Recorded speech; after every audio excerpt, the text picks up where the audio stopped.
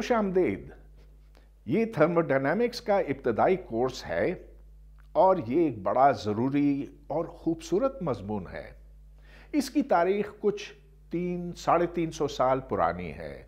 जब हमने ये जाना कि दरअसल गर्मी और तवानाई असल में एक ही चीज़ है कि एक को दूसरे में तब्दील किया जा सकता। मिसाल के तौर पर अगर मैं हाथ को यूँ रगड़ूं तो इधर गर्मी का एहसास होता है, क्योंकि जो मैंने काम किया है, वो फिर गर्मी में तब्दील हुआ। और गर्मी को हम काम में भी तब्दील कर सकते हैं।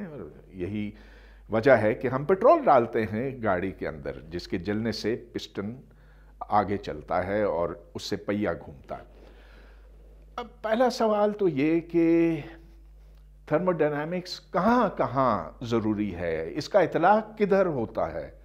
फिज़िक्स के हर शोबे में, हर शोबे में ये इस्तेमाल होता है। लेकिन उससे ज़्यादा इंजीनियरिंग में तो मिसाल के तौर पर अगर आप कोई बिजली का प्लांट लगाना चाह रहे हैं तो हर इंजीनियर को ये जानना पड़ता है कि तवानाई कितनी अंदर आती है, कितनी बाहर जाती है कि उसका थर्मोडाइनमिक हिसाब उसके पुर्जे पुर्जे में क्या होता है?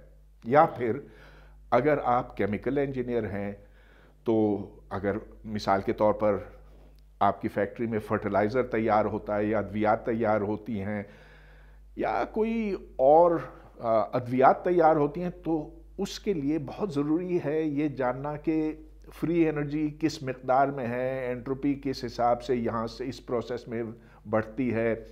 और तभी आप हिसाब लगा सकते हैं कि अगर मुख्तलिफ़ अज्जा को मिलाया जाए तो उससे क्या चीज़ बरामद होगी? अलबत् ये नहीं जान सकते कि किस रफ्तार पे, क्योंकि हम थर्मोडायनेमिक्स की तो बात करते हैं, लेकिन दरअसल थर्मोडाइनमिक्स सिर्फ़ आपको ये बता सकता है कि क्या मुमकिन हैं। किस रफ्तार पे होता, ये एक अलग मसला बनता। हाँ और अगर आप माहौल को समझना चाहते हैं मिसाल के तौर पर यह कि ग्लेशियर किस रफ्तार पर पिघल रहे हैं या कार्बन डाइऑक्साइड समंदरों में किस हिसाब से जज्ब होती है या आ, अगर आप आ, समंदर के अंदर जो करंट्स हैं उनको समझना चाहें ये सब थर्मोडाइनमिक्स के दायरे में आती हैं। तो गर्ज ये कि बायोटेक्नोलॉजी से लेकर आप मैकेनिकल इंजीनियरिंग तक जा सकते हैं, हर जगह इसकी ज़रूरत पड़ती। मगर ये सारी चीज़ें तो ज़मीन पर है ना। आसमान में देखिए तो सितारों के अंदर जो कुछ होता है, वो भी थर्मोडाइनमिक्स तय करता है कि सितारा कब और कैसे ख़त्म होगा और क्या ये ब्लैक होल बनेगा? हाँ ब्लैक होल ये हमारा एक और मौजू है। मगर ये बहुत हैरत की बात है। मेरे लिए कम से कम ये बहुत हैरत की बात है कि ब्लैक होल का थर्मोडायनामिक्स के साथ एक जोड़ बनता है। और आज स्टीफन हॉकिंग की वजह से हम उसके मरहून मिन्नत हैं कि स्टीफन हॉकिंग ने हमें ब्लैक होल थर्मोडायनामिक्स के कवानीन भी साबित करके दिखाए हैं। चलिए, इसकी तरफ़ तो हम शायद ना जा सकें। हम आहिस्ता आहिस्ता इस मजमून को समझेंगे। अगरचे इसको बहुत मैथमेटिकल अंदाज में भी पढ़ाया जा सकता है, लेकिन मेरे ख्याल में मजमून को समझने के लिए सबसे पहले एक तस्वीरी शक्ल दी जाए। तो यूँ फिर हमारे जहन के अंदर एक तस्वुर बनता है, जिसको फिर हम मैथमेटिक्स की मदद से आगे बढ़ा सकते हैं। ये कोई ठंडा जिस्म है?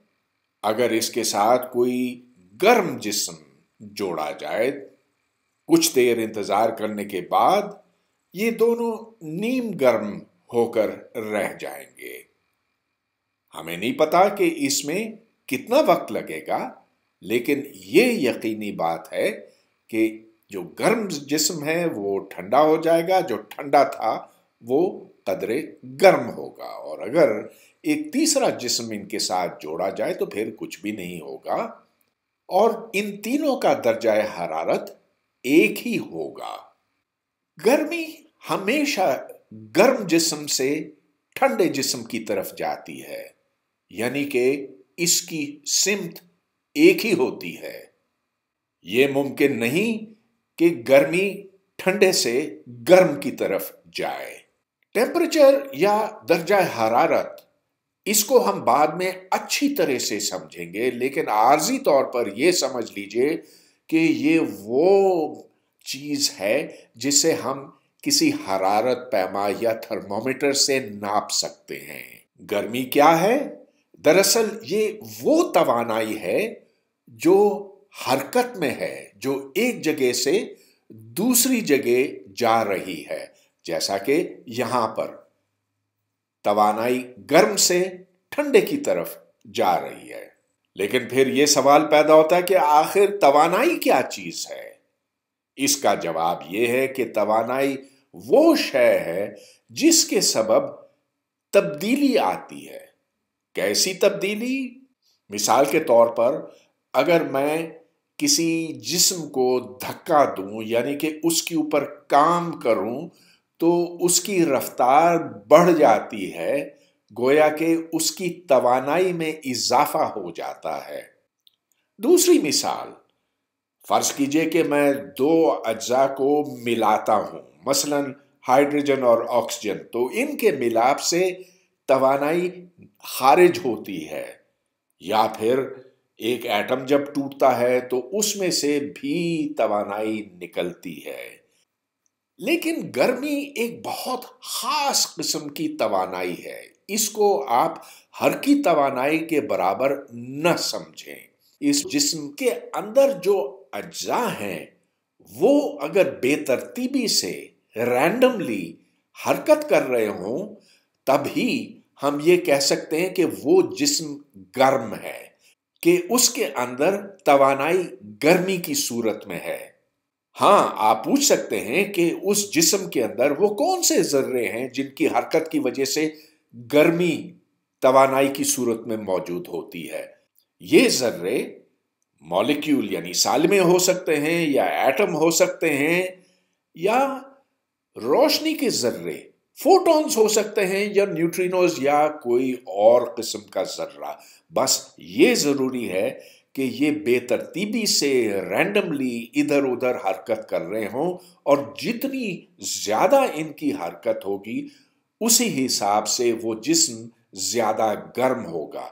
लिहाजा यहाँ देखिए, हम ये कह रहे हैं कि ये गर्म जिस्म है, मगर इसके अंदर है क्या? इसके अंदर हो सकता है कि एक ख़ास किस्म का एटम हो या मॉलिक्यूल हो या इसमें फोटॉन्स हो। इधर क्या है? इससे भी हमें गर्ज नहीं, हम बस ये जानते हैं, जब ये और ये आपस में जुड़ जाते हैं, इनका थर्मल कांटेक्ट होता है, तभी यहाँ से गर्मी इसकी तरफ़ जा सकती है।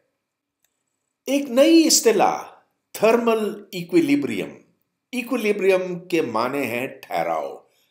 जब दो अजसाम जोड़े जाते हैं और जब गर्मी ना इधर से उधर जाती है, ना उधर से इधर आती है तो हम ये कहेंगे कि ये दो अजसाम थर्मल इक्विलिब्रियम तक पहुँच गए हैं, और ये तभी हो सकता है जब दोनों का दर्जा हरारत बराबर हो, जब इनमें गर्मी का दर्जा बराबर हो चुका हो।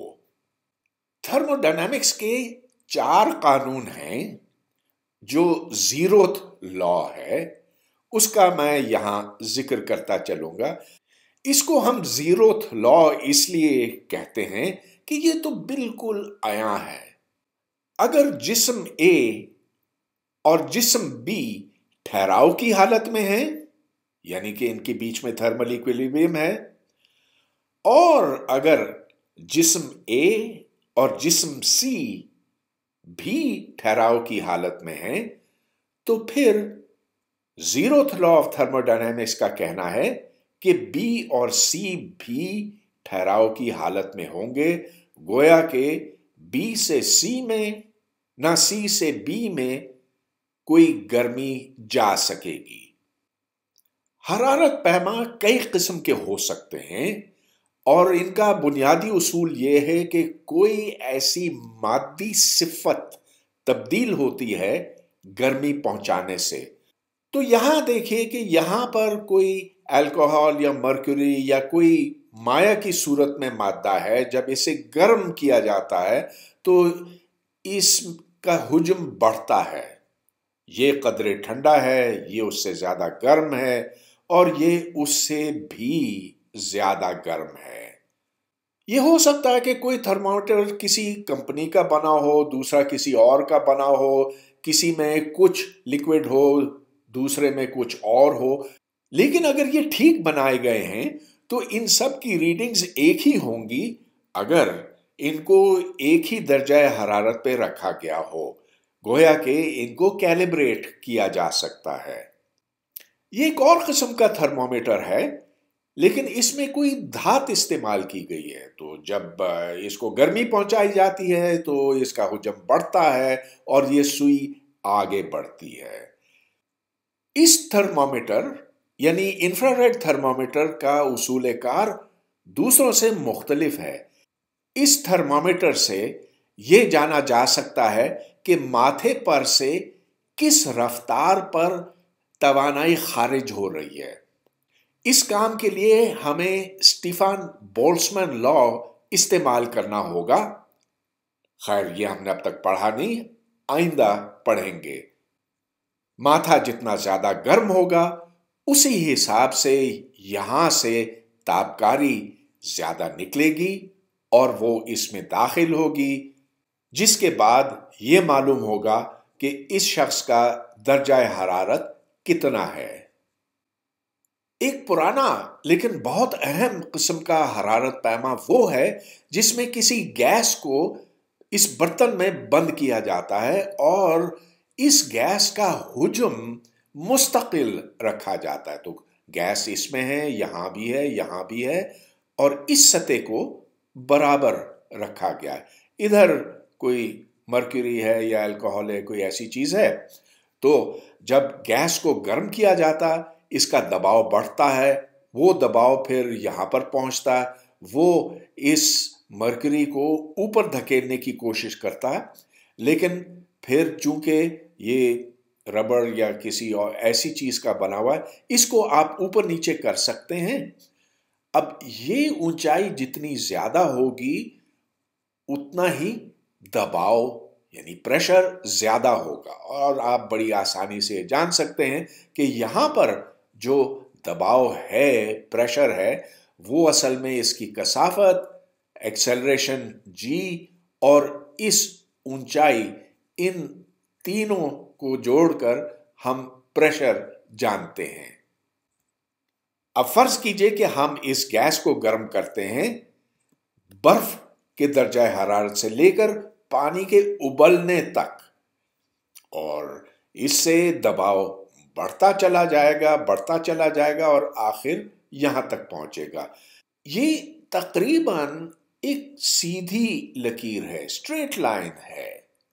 मुख्तलिफ़ गैसें, मसलन ये अगर नाइट्रोजन है, ऑक्सीजन है, हाइड्रोजन है या कोई और गैसें हैं, जब आप इनको गर्म करते हैं, मसलन सिफर सेंटीग्रेड से सौ सेंटीग्रेड तक तो एक गैस ज़्यादा फैलती है, एक उससे कम और एक उससे भी ज़्यादा कम।